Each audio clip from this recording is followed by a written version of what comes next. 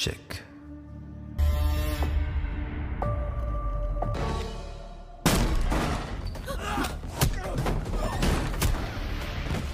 Halo sahabat, Assalamualaikum. Semoga sehat selalu dan senantiasa berbahagia. Terima kasih sudah subscribe dan menyimak video-video Ponco Movie. Semoga Tuhan Yang Maha Esa selalu memberikan rezeki yang berkah dan berlimpah ruah untuk sahabat semua Kali ini Konco Movie akan membawakan alur cerita film yang berjudul Hitler 2024 menceritakan tentang seorang pemuda yang mencuri uang para koruptor untuk membangun desanya yang sangat miskin.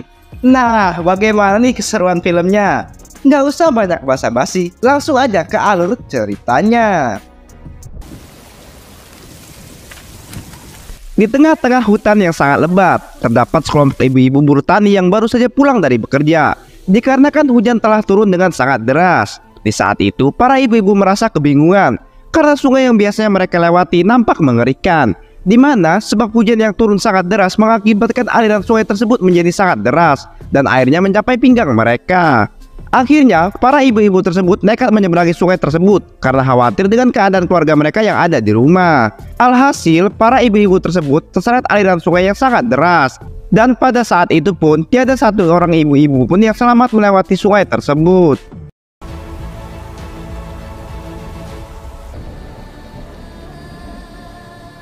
Di sisi lain, di dalam kota, terlihat seluruh penduduk kota bersorak gembira menyambut kemenangan seorang menteri bernama Raja Vel. Raja Vel sangat senang sekali karena kampanye kali ini telah dimenangkan oleh dirinya. Di mana Raja Vel akan menjadi pemimpin yang bijaksana dan akan membina seluruh penduduk kota dengan baik.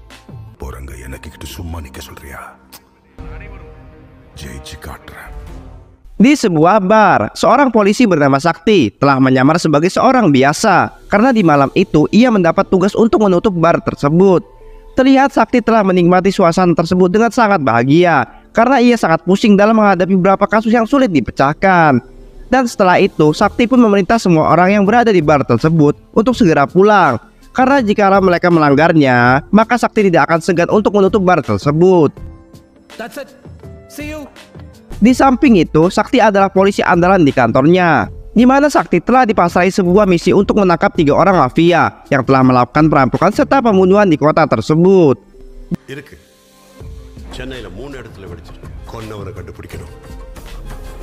Di pagi harinya, seorang wanita pekerja keras bernama Sarah sedang berburu-buru untuk menaiki sebuah kereta.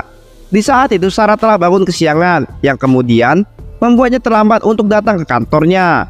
Tiba-tiba saja Sarah tidak sengaja menabrak seorang pria tampan bernama Salpa yang sedang menuruni tangga. Seketika Salpa terguling-guling hingga mendapati luka di bagian dahinya.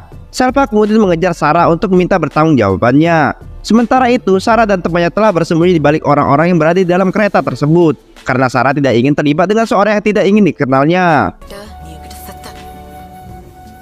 Yang akhirnya, Sal dan temannya pun berhasil turun dari keretanya dengan aman tanpa diketahui oleh Selpa, lalu bergegas pergi menuju ke kantor.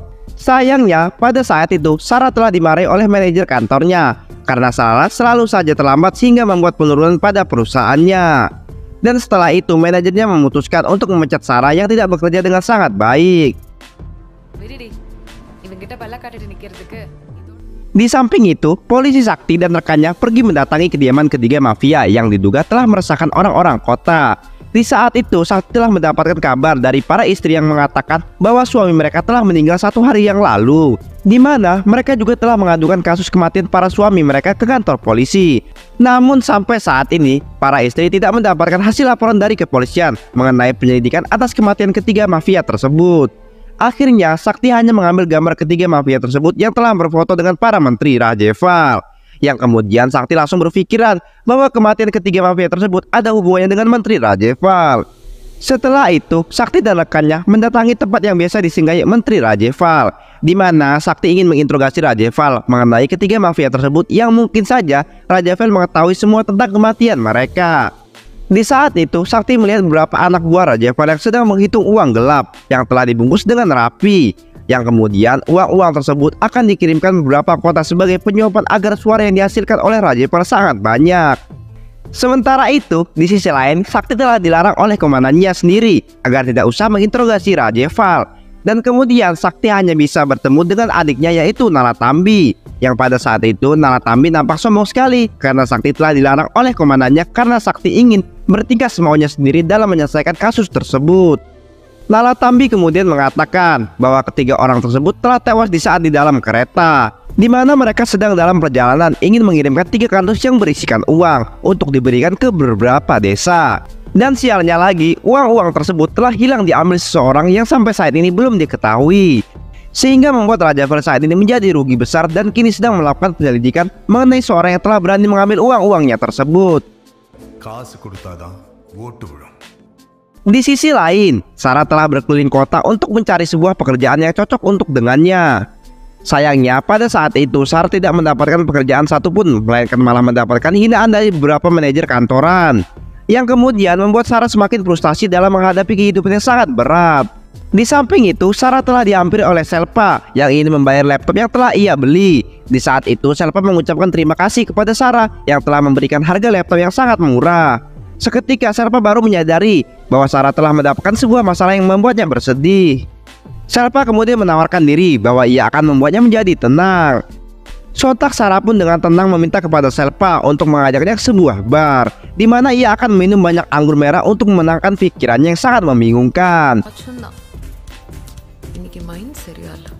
Yang akhirnya Sherpa mengikuti permintaan Sarah agar Sarah bisa tenang kembali. Di saat itu Sarah telah menghabiskan banyak sekali anggur merah yang kemudian membuatnya mabuk Sementara pada saat itu, Selpa mengatakan bahwa dirinya sangat beruntung sekali setelah bertemu dengan Sarah yang melihat wajahnya.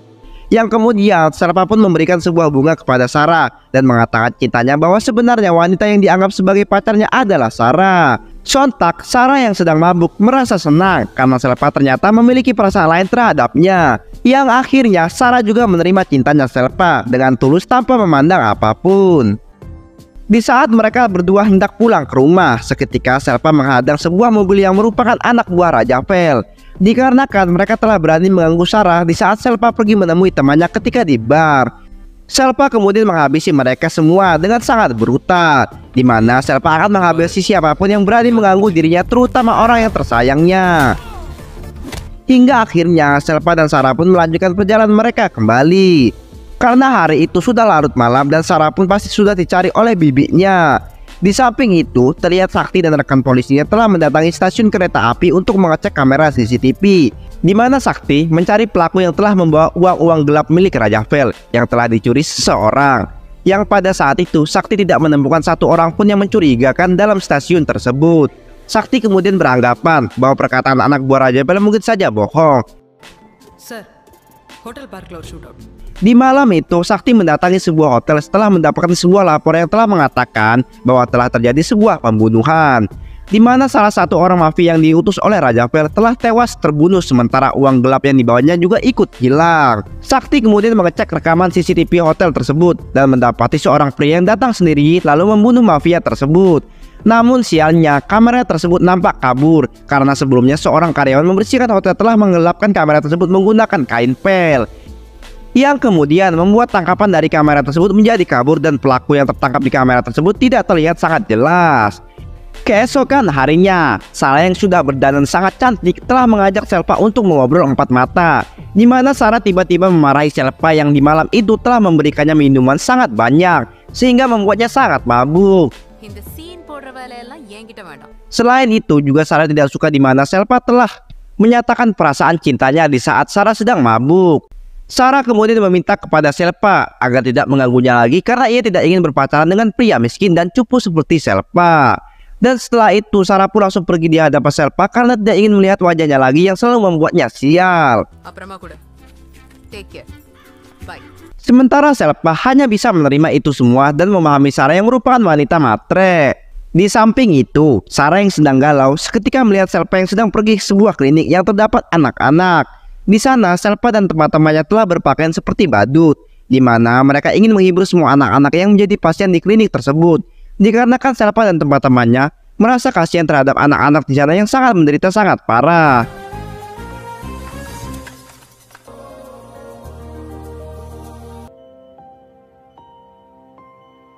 Sarah kemudian berharap bahwa Selpa akan menerima minta maafnya karena Sarah sudah sangat bersalah sekali sebab sudah mengatakan yang tidak-tidak. Beberapa hari kemudian, terlihat Sarah hendak pergi mencari sebuah pekerjaan dengan berpakaian sangat rapi. Di saat itu, Sarah tidak sengaja bertemu dengan Selpa yang ingin mengendarai kereta yang menuju tempat pekerjaannya. Seketika Sarah meminta maaf kepada Selpa, lalu menarik kembali kata-kata yang telah membuat Selpa sakit hati.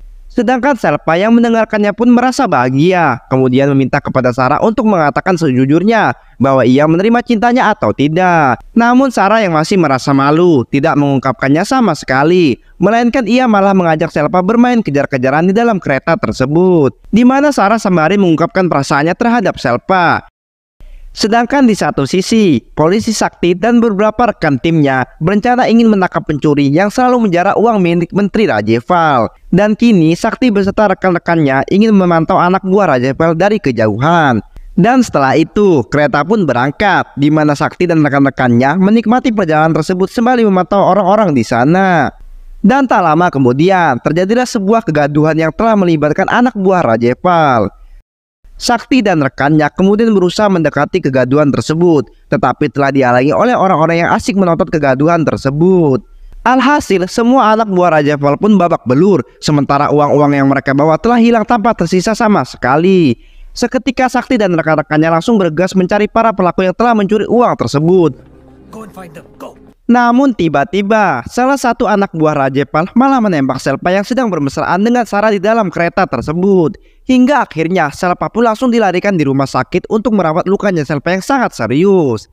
Setelah itu, Sakti pergi menemui Rajepal, lalu menjelaskan semuanya bahwa rencananya telah gagal. Sontak Rajepal pun langsung mengamuk karena ia telah kehilangan uang yang sangat banyak sekali. Rajepal pun kemudian meminta kepada Sakti untuk bertanggung jawab dan menemukan pelaku segera mungkin. Karena jikalau tidak, Rajepal akan selalu kerampokan yang kemudian membuatnya bangkrut dan jatuh miskin. Sakti seketika menarik salah satu anak buah Rajepal yang hampir saja menembaknya yang malah mengenai Selpa. Sakti kemudian memukulinya dan meminta anak buah Rajepal untuk menjelaskannya. Akhirnya, anak buah Rajepal pun mengaku bahwa ia menembak Selpa karena pelaku sebenarnya yang selalu menjara uang-uang tersebut. Sontak Sakti merasa tidak percaya dengan perkataan anak buah Rajepal dan kemudian Sakti berencana ingin menyelidiki Selpa yang telah menjadi tersangka. Di samping itu, Sakti beserta semua anggota kepolisian telah memutar rekaman kamera CCTV ketika berada di dalam stasiun. Di saat itu, Sakti tidak menemukan tanda-tanda mencurigakan Selpa yang telah dituduh sebagai tersangka. Melainkan, Sakti memperhatikan sekelompok orang desa yang terdiri dari orang tua, suami istri, dan anak-anak muda di mana pada saat itu mereka telah tertangkap basah membawa kotak-kotak yang berisikan uang. Sakti kemudian berasumsi bahwa kemungkinan besar Sarpa juga termasuk dari kelompok orang-orang desa. Dan pada saat itu pun, Sakti berencana ingin memantau Selpa setiap hari, lalu menjebaknya dalam perangkap yang nantinya akan membuktikan bahwa Selpa juga menjadi pelakunya. Di sisi lain, orang-orang desa nampak telah mendapatkan uang yang sangat banyak sekali. Di malam itu, orang-orang desa mengumpulkan semua uang yang telah didapatkannya. Di mana mereka berencana ingin kembali ke desa karena saat ini kejahatan mereka telah diketahui oleh para polisi. Orang desa juga telah memberhentikan aksi kejahatan tersebut karena sudah mendapatkan uang yang sangat cukup banyak. Di mana mereka semua tidak memiliki sepeser pun uang yang kemudian mengharuskan mereka untuk melakukan penjarahan di kota. Dan setelah itu semua orang desa di malam itu bergegas pergi kembali ke desa agar tidak ada seorang pun yang mengetahui keberadaan mereka. Keesokan harinya, Sakti dan rekan-rekannya memantau Selpa dengan mengandalkan salah satu temannya. Yang pada saat itu Sakti telah meletakkan sebuah kamera di dalam kamarnya. Karena Sakti sangat yakin sekali karena Selpa telah menjadi pelakunya yang kemudian temannya Selpa pun mengacak-acak semua pakaian serta tas milik Selpa untuk menemukan barang-barang yang menunjukkan bahwa Selpa telah menyimpan sebuah pistol. Namun usaha pencariannya itu tidak menemukan apa pun, melainkan temannya itu telah dimarahi habis-habisan oleh Selpa Karena barang-barangnya telah diacak-acak oleh temannya. Sepulangnya Selpa bekerja, Selpa mendatangi kediaman Sarah lalu mengungkapkan semuanya kepada bibinya Sarah di mana Selpa berencana ingin menikahi Sarah segera mungkin. Karena Selpa sudah menemukan seorang pasangan hidup yang cocok yang akan selalu membina rumah tangganya dengan sangat baik. Awalnya bibinya Sarah agak ragu karena ia baru saja mengenal Selpa dan belum mengetahui asal-usul Selpa. Hingga pada akhirnya, bibinya Sarah pun memutuskan untuk menyetujui pernikahan mereka berdua. Sementara Selpa merasa sangat senang karena sebentar lagi dirinya akan menikah dengan Sarah. Di sisi lain, Sakti telah memerintah beberapa rekannya untuk mencari sebuah informasi mengenai Selpa dan Sarah. Di samping itu, Sarah dan Selpa pergi ke toko pakaian untuk membeli baju pernikahan mereka. Di sana, seorang pria utusan Sakti telah memantau mereka dari kejauhan di mana mereka berencana ingin menangkap Selpa yang polos dari kejaran para polisi. Seketika Selpa pun marah karena pria tersebut telah memotret Sarah yang sedang mencoba-coba pakaian. Selpa kemudian menghajar pria tersebut karena merasa tidak nyaman. Namun pada saat itu pria tersebut telah memanggil teman-temannya yang kemudian mengejar Selpa.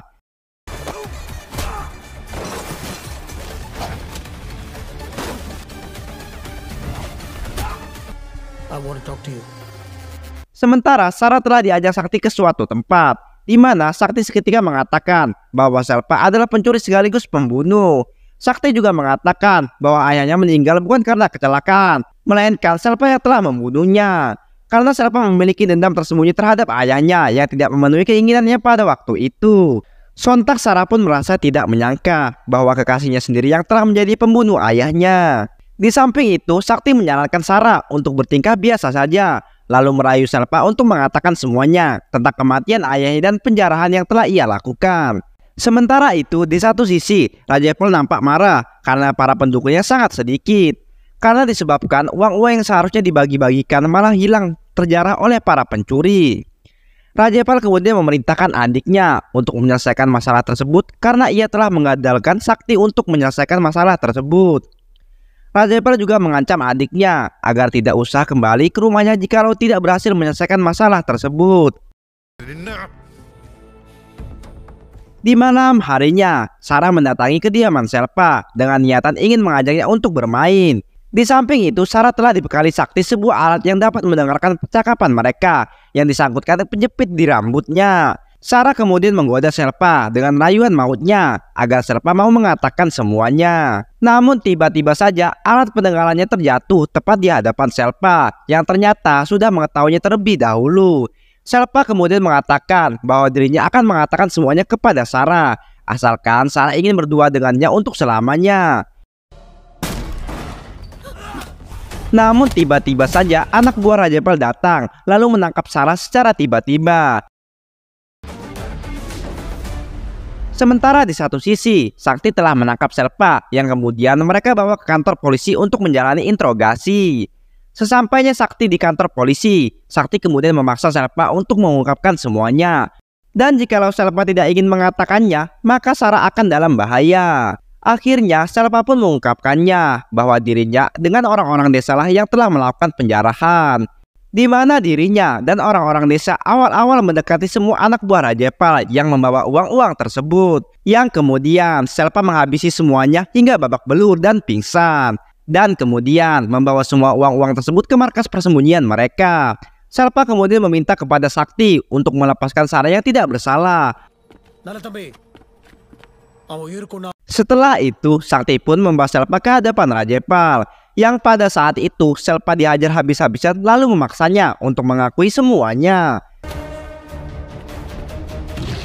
Selpa kemudian mengatakan bahwa dirinya berasal dari pedesaan yang sangat jauh dari perkotaan di desa tersebut sangat susah sekali untuk mendapatkan uang dan hanya mengandalkan perkebunan serta pertanian saja. Sementara itu, Selpa dan penduduk lainnya telah mendapat sebuah musibah di mana para ibu-ibu di sana telah tewas akibat terseret arus sungai yang sangat deras sekali yang kemudian membuat semua orang-orang desa menjadi frustasi lalu memutuskan untuk pergi ke kota. Dan sesampainya di sana, mereka telah mengadukan hal tersebut kepada ayahnya Sarah yang merupakan pengacara.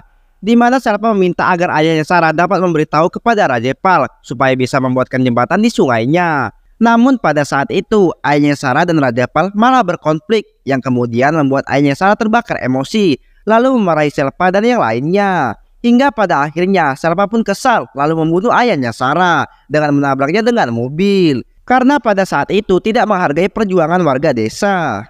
Sementara di satu sisi Selpa merasa kasihan terhadap Sarah yang menangis hingga frustasi setelah kematian ayahnya. Yang kemudian Selpa berniatan ingin menikahi sebagai rasa tanggung jawab karena dirinya telah membunuh ayahnya. Setelah itu Raja Pal mendengar semua ungkapan yang diberikan oleh Selpa. Raja Pal pun kemudian memerintah semua anak buahnya untuk menghabisi Selpa pada malam itu juga. Namun tiba-tiba saja sekelompok pasukan kepolisian telah mengerebek tempat tersebut lalu menembaki semua orang yang berada di sana. Di mana kepolisian sudah tidak menerima suapan dari Raja Pal yang telah melakukan pencucian uang. Sementara itu, Serpa berusaha kabur dari tempat tersebut, namun dirinya malah baku hantam dengan adiknya Raja Pal. Namun tak lama kemudian, Sakti tiba di tempat tersebut karena ingin menangkap Selpa. Sayangnya, Selpa berhasil kabur sedangkan Sakti malah terkena tembak yang diluncurkan oleh adiknya Rajepal. Yang kemudian membuat Sakti dan semua orang yang berada di sana terkapar dan menerima luka yang tembak yang cukup serius. Beberapa hari kemudian, pemilu akhirnya berakhir, di mana telah dimenangkan oleh Aradan yang menjadi pemenang pemilu kali ini karena Raja Pal telah tewas dan telah menjadi tersangka dalam kasus penggelapan uang serta penyuapan. Yang kemudian Aradan berencana ingin membantu mewujudkan keinginan Selpa. Di mana sebelumnya Aradan telah bersekongkol dengan Selpa yang pada saat itu Aradanlah yang telah memberikan semua kebutuhan yang dibutuhkan seperti persenjataan dan kini Aradan sangat senang sekali karena impiannya menjadi seorang menteri akhirnya terwujud juga berkat bantuan Selpa. Di sisi lain, terlihat Sakti sudah membaik dan telah mendatangi kampung halaman yang telah menjadi tempat tinggal Selpa. Dan kini Sakti tidak lagi mempermasalahkan itu semua karena Raja Pala telah tiada. Dan seketika Sakti terkejut setelah melihat di desa tersebut telah dibangun sebuah jembatan yang sangat indah di mana Serpala yang telah menjadi kepala konstruksi dan telah mengarahkan semua orang desanya untuk membantu dalam pembangunan desa tersebut.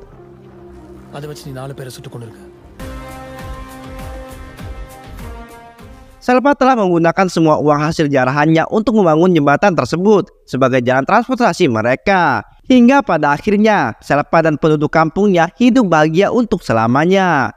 Dan film pun selesai.